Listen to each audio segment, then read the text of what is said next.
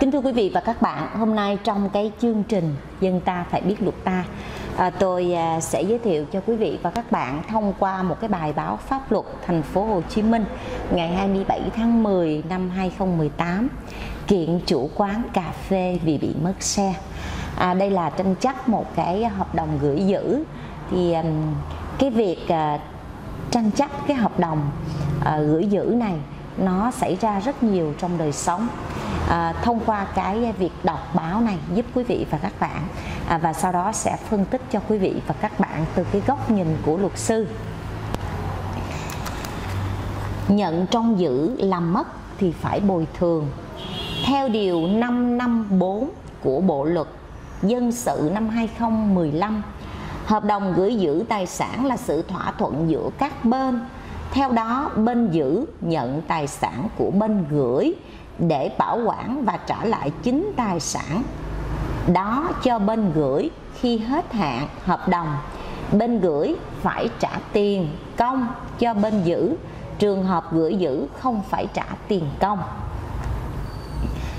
Thưa quý vị và các bạn đây là một cái um, um bài báo của phóng viên Tân Sơn à, nói về một cái hợp đồng gửi giữ của một cái anh anh đi um, anh đi đến à, quán cà phê anh uống cà phê và sau khi ra thì anh lại phát hiện chiếc xe anh không cánh mà bay. Thì anh đã kiện đến à, chủ quán cà phê để yêu cầu bồi thường thiệt hại ngoài hợp đồng. À, trong cái việc mà à, hợp đồng gửi giữ này thì à, chúng ta cùng xem nhé. Tòa án Nhân dân tỉnh Kiên Giang vừa xử phúc thẩm vụ tranh chấp yêu cầu bồi thường thiệt hại về tài sản, đối với hợp đồng gửi giữ tài sản do ông DH DNH với bà DKS chủ quán cà phê do bà S có kháng cáo. Đến uống cà phê bị mất xe. Trong đơn khởi kiện, ông H trình bày vào 19 giờ 30 ngày 16 tháng 1 năm 2017 ông chạy xe hiệu Exciter chở một người bạn vào quán uống cà phê của bà S. Khi vào quán, ông đậu xe máy ngay tầm nhìn của bảo vệ quán để bảo vệ dễ quan sát. Lúc đó bảo vệ trông thấy. Tại đây, ông H cùng bạn uống cà phê đến khoảng 21 giờ thì có thêm hai người bạn khác đến ngồi chung bốn người uống cà phê đến 21 giờ 55 thì ra về.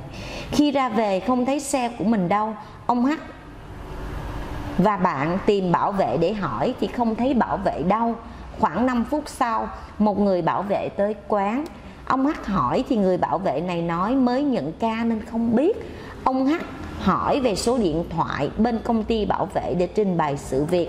Nhờ bạn trình báo công an phường còn ông ngồi ở quán đợi chủ quán. Đến 22 giờ 15 tổ trưởng bên công ty bảo vệ có đến quán gặp ông H để nắm rõ sự việc. Gần 22 giờ 20 bạn ông H chạy về quán nói công an phường yêu cầu chủ xe qua phường trình bày. Ông H và bạn đến công an phường trình bày sự việc và công an phường có ghi nhận. Theo ông H, hiện ông vẫn còn giữ giấy đăng ký xe mang tên ông và chìa khóa xe khi ông vào quán uống cà phê thì bảo vệ quán phải có trách nhiệm trông giữ xe máy cho ông Do bảo vệ quán sơ hở mất cảnh giác nên kẻ gian đã đột nhập vào lấy mất xe máy của ông. Do đó, ông yêu cầu chủ quán cà phê và người quản lý quán cà phê phải có trách nhiệm bồi thường chiếc xe bị mất cho ông trị giá là 46 triệu. Không treo biển khách tự giữ xe, chủ quán phải đền. Tại tòa, bà S chủ quán cà phê trình bày rằng bà có hợp đồng thuê bảo vệ của công ty. Trong hợp đồng có bàn giao phụ trách an ninh trong quán và trông coi xe. Vào một thời gian nào đó bà không nhớ rõ. Lúc bà không có mặt tại quán bà được phía công ty bảo vệ thông báo có việc mất xe. Việc mất xe được công an, phường ghi nhận và lấy lời khai của nhân viên bảo vệ. Qua các lần hòa giải ở phường, bà S có yêu cầu mời đại diện công ty bảo vệ tham gia, nhưng do thất lạc, hợp đồng giữa bà và công ty bảo vệ nên phường không mời. Nay bà không chấp nhận bồi thường cho ông H, đồng thời yêu cầu xác minh vụ mất xe xảy ra ở quán hay không yêu cầu mời đại diện công ty bảo vệ tham gia tố tụng Tháng 4 năm 2018, tòa sơ thẩm đã tuyên buộc bà S phải bồi thường cho ông H số tiền là 31 triệu đồng. Giá trị xe bị mất theo kết quả thẩm định giá, không đồng ý bà S kháng cáo. À, mới đây, xử phúc thẩm vụ án Tòa án Nhân dân tỉnh Kiên Giang nhận định tại biên bản hòa giải Ủy ban Nhân dân thừa nhận có việc mất xe và đồng ý bồi thường cho ông H nhưng yêu cầu công ty bảo vệ phải có trách nhiệm liên đới. Tòa phúc thẩm xét thấy việc ông H mất xe máy hiệu Exciter tại quán cà phê của bà S là có thật. Trách nhiệm bồi thường thiệt hại xe cho ông H thuộc về bà S bởi lẽ quán cà phê không treo biển báo khách tự giữ xe mặt khác, người quản lý quán cà phê xác định trong thời gian ông H ông H báo mất xe bảo vệ không phát thẻ giữ xe cạnh đó bà S không có đơn yêu cầu công ty bảo vệ liên đới bồi thường thiệt hại theo tòa phúc thẩm tòa sơ thẩm buộc bà S bồi thường thiệt hại cho ông H là có căn cứ. Bà S có quyền khởi kiện yêu cầu công ty bảo vệ bồi thường thiệt hại trong vụ án khác nên hội đồng xét xử tuyên giữ nguyên bản án sơ thẩm. À, tôi xin à, tóm tắt lại cái nội dung như thế này. À, một um, một cái ông à, H đi uống cà phê và ông à, chạy vào quán cà phê và không có lấy cái thẻ giữ xe. Và khi ra thì lại phát hiện uh, xe không cánh mà bay.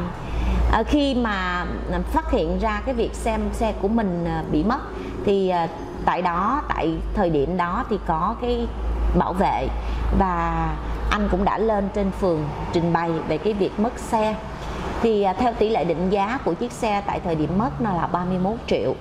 À, trong trường hợp này thì à, ông H có quyền yêu cầu à, chủ quán để bồi thường cái số tiền theo cái thị giá đã thẩm định là 31 triệu. Là chủ quán cũng có quyền yêu cầu à, liên đới đối với công ty bảo vệ trong trường hợp này. À, nếu như um, chúng ta là những người đi uống cà phê thì chúng ta À, chậm và kỹ một chút xíu để à, chúng ta tránh những cái à, khó khăn. Tôi nhớ có tôi thì tôi cũng có một cái thói quen là cũng ít có gửi xe lắm. À, và gửi thì cũng không có lấy thẻ xe vì một số nơi quen biết. À, tuy nhiên thì có một lần thì à, tôi chở một cái chị khách đi um, chợ bánh thanh à, ăn quà vặt.